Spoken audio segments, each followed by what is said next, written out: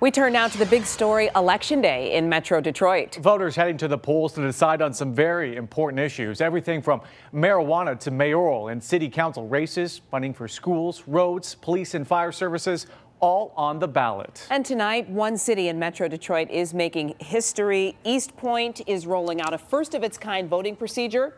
7 Action News reporter Brian Abel is there live. And Brian, what are voters telling you? Hey guys, well, some tell me that they were prepared because they heard about this before. Others say that it was very confusing. Either way, based on the lack of voters you see here behind me, it probably won't take too long to tally up the votes. How did yeah. it go?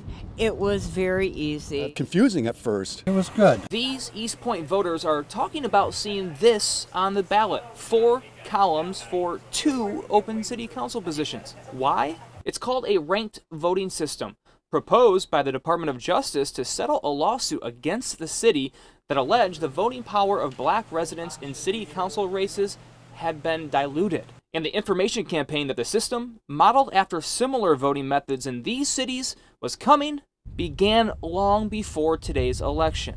We have been working on educating our public for at least four months reaction to the potential multiple rounds to choose the first two city council members to get just over 33.3% of the vote mixed. I was prepared when I went in there.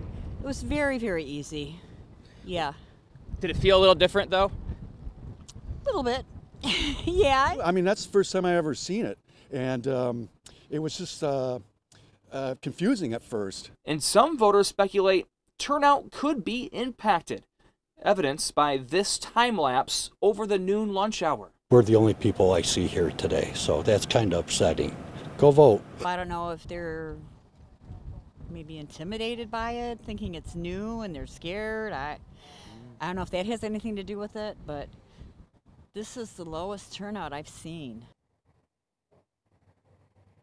And we just checked just a minute ago, about 150 voters have come through this precinct out of the registered 2,430 voters here in Precinct 12. But the city does tell us that about 4,000 absentee ballots went out, so still unclear just how much turnout there will be as far as when we'll know the results. That will happen sometime tomorrow around 5 o'clock. For now, reporting live, Brian Abel, 7 Action News. And we'll see what the voters say. All right, Brian, thank you.